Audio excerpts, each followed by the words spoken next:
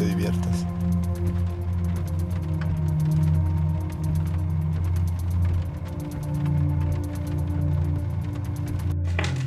Yo no sé qué te está pasando, Luz, pero tienes que cuidarte, ¿eh?